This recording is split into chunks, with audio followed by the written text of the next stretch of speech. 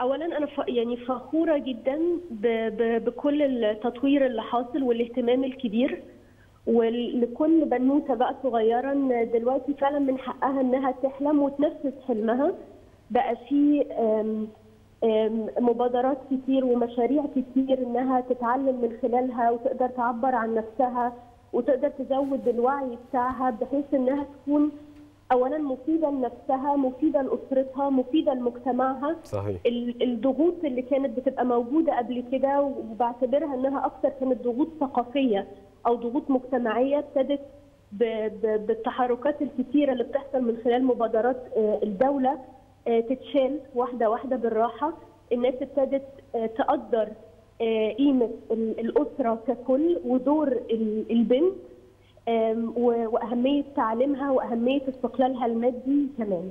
نعم. أكيد. دكتور لو هنتكلم خلال التسع سنوات اللي فاتوا لأن أنا من وجهة نظري شايف إن التسع سنوات دي هي سنوات ذهبية للمرأة صحيح. المصرية في مصر تحديدا. شايفة وضع المرأة المصرية في مصر كان فين ما قبل التسع سنوات والنهاردة أصبح موجود فين؟ من خلال تمكين ومن خلال مبادرات يمكن آه، اشتغل عليها كتير من الجهات بالتنسيق مع المجلس القومي للمرأة وشفناها حقيقه على أرض الواقع يعني. طبعا هو هو ما فيش مقارنة يعني ال- اللي كان قبل غير دلوقتي اللي حاصل لأنه كمان ال- المبادرات أو الجهود اللي هي مبذولة على الأرض آه، ما ما بقتش بس متمركزة في محافظات بعينها. إحنا بنغطي جمهورية مصر العربية كلها وما بقيناش مهتمين بمجال واحد أو بمعنى أصح لما تقوم قضية معينة أو تقوم مشكلة معينة ده بيبقى كل. التركيز آه، عليها.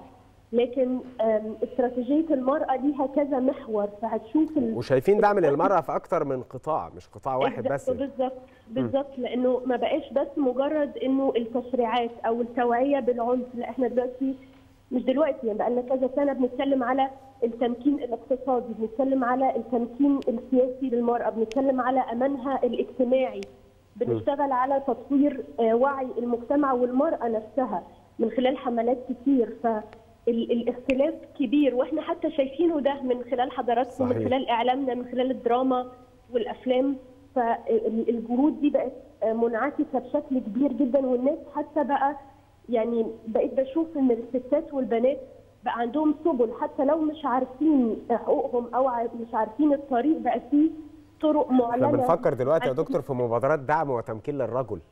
تكبرش الموضوع. ما تكبرش الموضوع يعني. طب دكتورة خلينا نقول إن قعدنا سنين المبادرات دايما بتبقى منحصرة في المرأة الريفية أو الفتاة الريفية وبتبقى المبادرات كلها قائمة على مجرد تحسين أوضاعهم في التعليم. لكن إحنا مؤخرا بقى عندنا ال- المظلة بقت أشمل وأكبر وبتشمل جميع الفتيات على مستوى آه، مختلف ال- المستويات الاقتصادية والاجتماعية وكمان التعليمية. وأعتقد ده ما كانش موجود آه، في فترة آه، سابقة.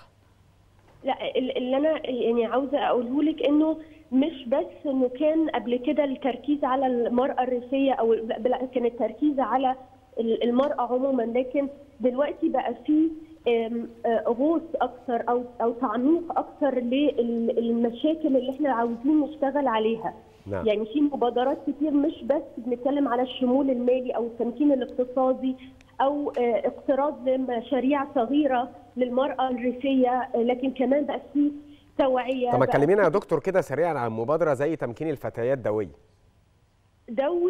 دوي دوي. هي مبادرة لتمكين ال- الفتيات هدفها وده من أجمل الحاجات الحقيقة اللي حصلت إنه ال- البنت تتعلم إزاي إنها ت- تعبر عن مشاعرها والمجتمع يسمعها. من خلال دوائر حكي حصلت في محافظات كتير جدا في مصر منها سوهاج والأقصر وأسوان والمنيا والعريش.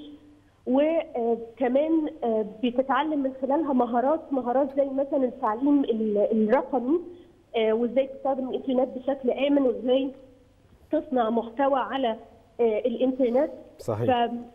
فدوي خد جزء مختلف شوية عن مجرد تعليم أو الاهتمام بالتعليم لكن الاهتمام بالصحة النفسية ليها وانها تقدر تعبر عن مشاعرها وتتكلم إزاي وتوصل اللي هي حاسة بيه إزاي من خلال إنها تبقى عندها ال- ال- الجرأة إنها تحكي. فمن نعم. هنا جت آه، فكرة دوي. نعم.